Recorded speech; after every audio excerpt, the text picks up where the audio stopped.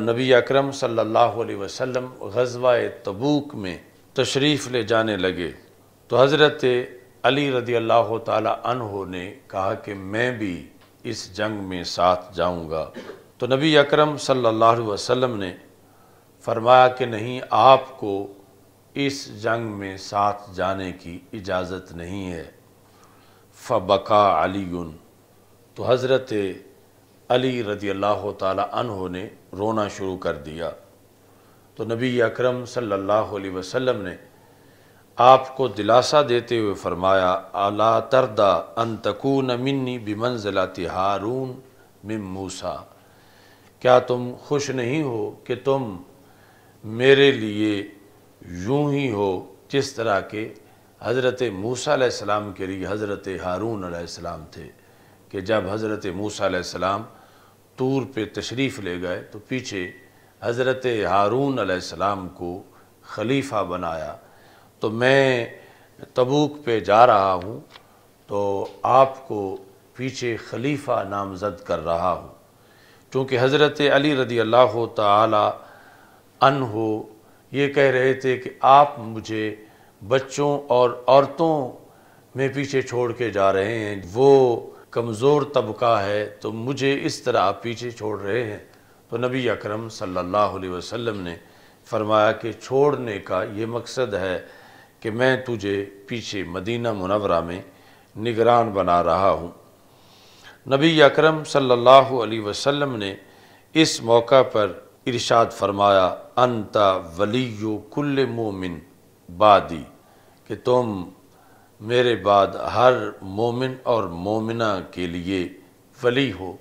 और यही हदीस दूसरे अल्फाज में, यूँ भी मौजूद है मन कुन तो मौला हो फ़ाली मौला हो, कि जिसका मैं मौला हूँ। हज़रत अलीमरतज़ा रदी अल्लाह तहो भी उसके मौला हैं।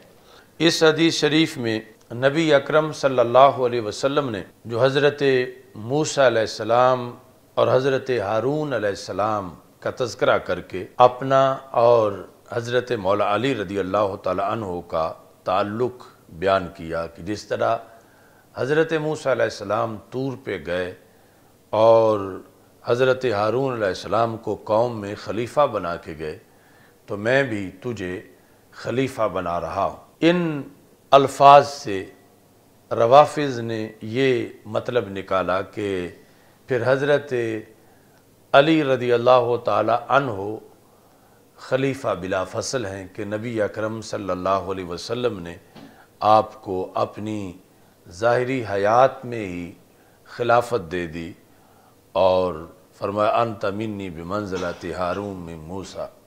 इस बुनियाद पर, यानी हदीस गदीर खुम पर वो बहुत ज़्यादा अपना दावा करके इस दावे को साबित करने की कोशिश करते हैं। जो तशबी दी थी नबी अकरम सल्लल्लाहु अलैहि वसल्लम ने, वो बाद अज विसाल की खिलाफत की तशबी नहीं थी, बल्कि ज़ाहरी हयात में किसी को मदीना मुनवरा में जो निगरान बनाया जाता था, उसके लिहाज से ये तशबी दी गई थी। जिस तरह के इबन उम मकतूम को भी नबी अकरम सल्लल्लाहु अलैहि वसल्लम ने एक मौका पर मदीना मुनवरा में अपना खलीफा बनाया। और जो मुशबा भी ही है तो उसमें हज़रत हारून सलाम ऐसे नहीं कि हज़रत मूसा के विसाल के बाद वो खलीफा बने, बल्कि हज़रत हारून सलाम का तो विसाल ही हज़रत मूसा सलाम से पहले हुआ। तो जो खिलाफत जिस तरह की उन्हें मिली यानी हज़रत हारून सलाम को, वो हज़रत मूसम के विसाल के बाद की खिलाफत नहीं थी, बल्कि मूसम की ज़ाहरी हयात के दौरान उन्हें पीछे कौम में निगाहबान और निगरान बनाया गया था। तो ऐसे ही यानी इस हदीस के अंदर जो हज़रत अलीमरतज़ा रदी अल्लाह तह की खिलाफत का तस्करा है तो वो भी खिलाफत उसी ज़ुमरे से है कि रसूल अकरम सल्लल्लाहु अलैहि वसल्लम ने ज़ाहरी हयात के अंदर जब आप ख़ुद तबूक पर गए तो पीछे हज़रत अलीमरतज़ा रदी अल्लाह तन को मदीना मुनवरा में अपना नायब करार दिया।